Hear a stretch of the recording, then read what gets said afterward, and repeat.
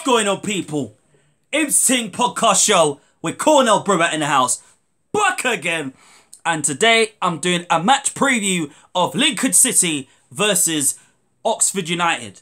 Before we get into the video, please leave a like and a subscribe to my YouTube channel. And also as well, leave a comment down below and tell me your thoughts. Who do you think is going to start? What do you think the score is going to be?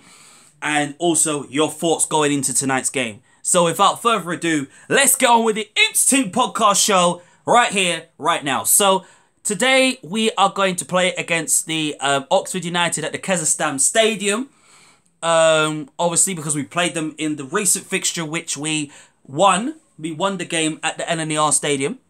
Um, which was a fantastic game, which was the start of the season because I remember obviously we're going into this game, a few pe a few people wasn't too sure if we was going to beat the Oxford or we was going to lose to Oxford. Although one vlogger said that we was going to lose 2-0, I predicted we were going to win the game. And what happened?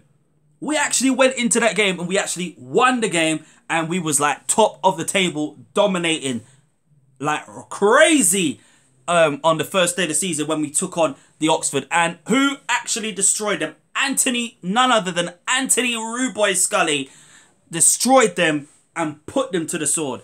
Um, obviously, tonight's game is going to be a little bit different because um, obviously there's no Adam Jackson. Um, I wish him, um, obviously, who tested positive this week um, for COVID 19. So we wish him um, all the best in his recoveries. Um, which is a real which is a real blow but we have more options of course we have only one option and that is to play um tj Ulmer at the back along with um, Monts um, in defence. So this is an opportunity for him to actually um, show something to Michael Appleton on why he should be playing. But I know the reason why he's not been started at, at right back really, and Regan has obviously started. Um, but to me, um, obviously, um, Lincoln played a friendly against Salford, which we was which we lost two one, despite being um, you know two goals down and happened to pull a goal back. I don't know. I don't know who actually like score. Um, but to me, um, obviously for me that I've heard rumors as well, um, as well too that um for me that Liam Bridcut and Callum Morton is obviously not going to be playing as well. So I've just got that that that um source coming in uh through my Twitter. So thank you very much to the Lincoln City Insider. So obviously we don't know how Lincoln's going to line up tonight. I mean, obviously with Bridcut out, obviously with um COVID as well. I've just read. Um, Callum Morton, because I just got a, a little invocation through my tablet, it claims that he's not playing.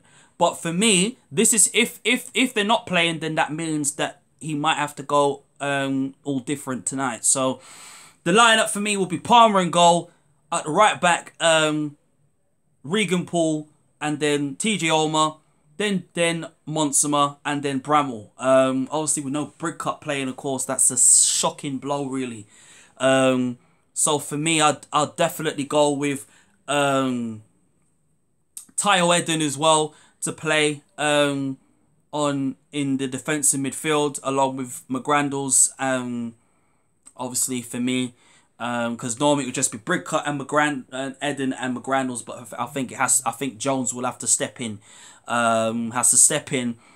Um, obviously, and probably go with Edun, Jones, and McGrandles in midfield and then of course um, definitely go with um, up front as well.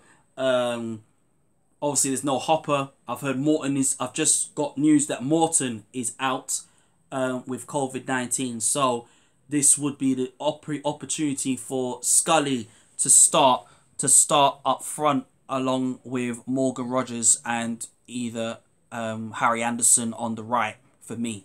Um, I think that's a very good team for me, it might not be for somebody else. That one I don't know. But um, you know, listen, um, it's kind of um, interesting to see what happens. But um, I mean, they've got a very good side. Don't get me wrong. Um, Brannigan is a very good player. So um, and they've got some very good, decent players on the team. So they're gonna they're gonna try and attack us. So what we need to do is just to stay on the right path, like we played against Sunderland, and we'll be fine.